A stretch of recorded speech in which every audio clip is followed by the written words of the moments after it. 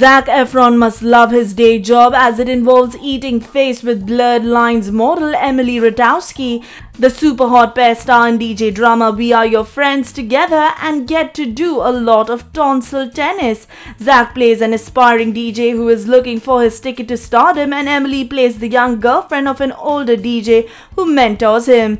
Played by American Beauty's Wes Bentley, he takes Zac's character under his wings and tries to help him succeed. But success comes at a price, and that price is love.